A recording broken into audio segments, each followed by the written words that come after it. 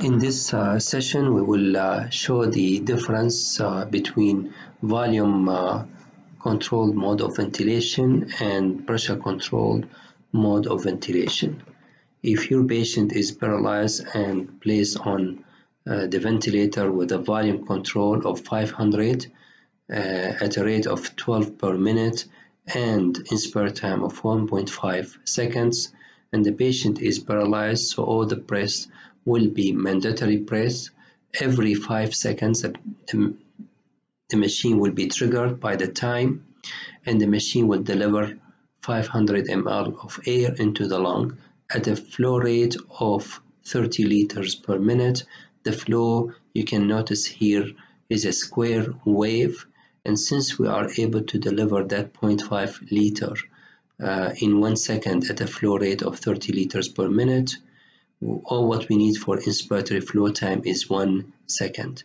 And since our cycling mechanism here is the time at 1.5 seconds, we will be left out with a 0.5 seconds of uh, inspiratory time where the air is already in the lung.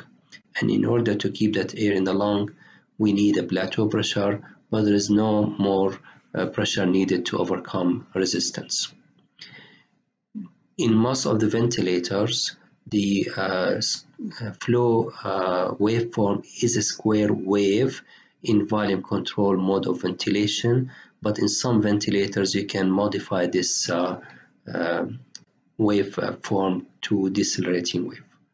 However, if you change from volume control to pressure control mode of ventilation, and I will freeze it here so you can notice the differences but before we go into the differences let me go uh, with the settings on the ventilator here. You can see now we can set the inspiratory pressure and it is set at 15 and the PEEP is at 5 you on, on regular ventilator you can link the PEEP with the inspiratory pressure. So if you go up on the inspiratory pressure the PEEP will go up at the same time so you can see that here. So go up on the uh, inspiratory pressure so the PEEP will go up uh, at the same time. So please uh, notice uh, uh, for this uh, important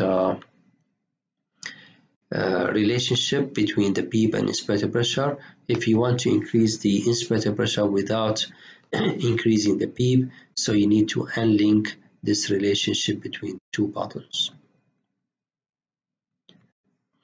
you can see here the rate is set as uh, at 12 similar to the to the uh, CMV mode of ventilation and the PEEP is at 5 and this is a slope of uh, 0.2 seconds. That means the time required to point to the maximum pressure is uh, 0.2 seconds. In this mode on this ventilator uh, you can uh, set a pressure support to support the inspiratory efforts that happen in between and this mode will function here similar to SIMV but it's pressure uh, control mode of ventilation. Now remember that we change from uh, volume control to pressure control here and you can see the difference between this is a volume controlled breath and this is a pressure controlled breath and you can notice the change in the flow waveform from a square wave to a decelerating wave. And uh, decelerating wave means that the breath is pressure uh, controlled.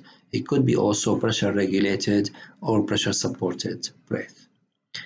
Uh, the pressure is a square wave uh, compared to the uh, gradual increase in the pressure and the pressure here is constant now dependent on the uh, resistance and compliance, if the resistance and compliance change, uh, if the resistance or the compliance uh, changes in volume control mode of ventilation, the pressure will go up to uh, maintain that target tidal volume of 500.